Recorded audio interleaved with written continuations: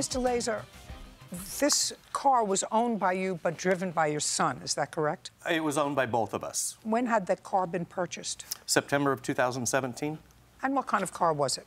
2001 Ford Mustang Coupe. How much did you pay for it? I believe we paid $2,400 for it. And your son drove it for a year and a half or more. Um, we bought it in the September of 2017, and he drove it until the accident, Which was on what date? uh, May 7th, 2018.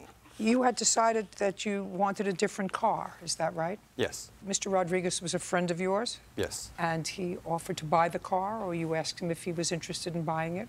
Yes. On You- what date? I'd like to say it was a week or so, two weeks ago before the accident. He wanted, he was talking to me about being interested in the car. On what date did he take this car, you say, for a test run? May, I would say May 3rd of 2018. No, it would have been May 7th that he picked up the car. Okay. What happened on May the 7th? He wanted to borrow the car for work and take a test drive just because he was planning on buying it. So I let He him wanted to borrow your car. Yes, because he was thinking about buying it, so it was sort okay, of a test drive. he was thinking drive. about buying it, and he took it for a test drive, and you had an accident, Yes, ma'am. and the car was towed. Yes. Was it totaled? Yeah, it was totaled. Did you let your friend know that you had totaled his car? Yeah, when the accident happened, I texted him right away. So what did you do? I let my dad know, and I asked him what he wanted to do because we had to either drop it or leave it in the tow yard, and I asked him to take care of that for me. He can't take care of it for you. He can't take the car out of the tow yard because it's not in his name. He's not permitted to do that. Your Honor, when, when the accident happened, the tow company gave Mr. Rodriguez the opportunity to have the car towed to a personal residence. However, he didn't. Uh, you can't tell me for that. First of all, it's hearsay. yes, ma'am. Second of all, you were notified on the date of the accident, correct? I was notified um, a couple of days after the accident. Well, that's your son's fault. Yes.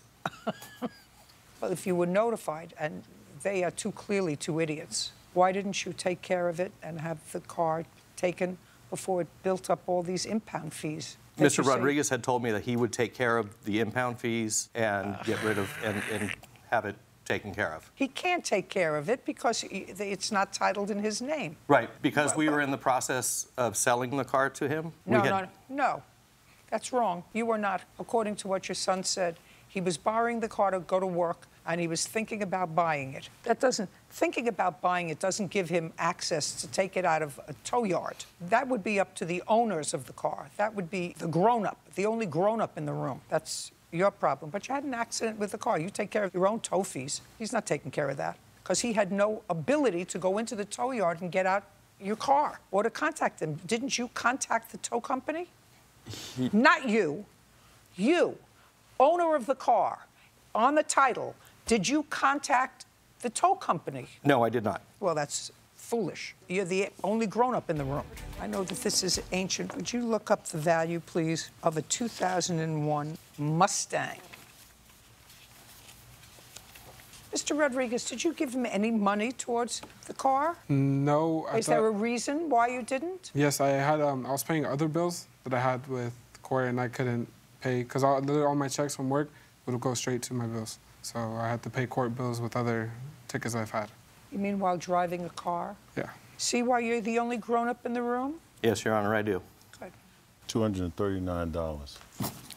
239? $239. Judgment for the plaintiff. Thank you very much. We're done. Your Honor, I, I have text messages from Mr. Rodriguez um, stating that he will pay for the entire balance. $239. You're the grown up in the room. Go and take care of your car. Somebody who doesn't own the car can't take the car out of towing.